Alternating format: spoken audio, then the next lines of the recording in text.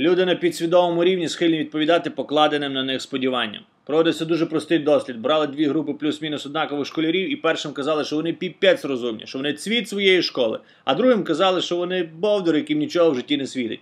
Результати тестів в першій групі завжди були набагато вищі, ніж в другій. То після цього чого ти дивуєшся, що людина, яку ти всю дорогу вважаєш що їбаном, веде себе як уїбан.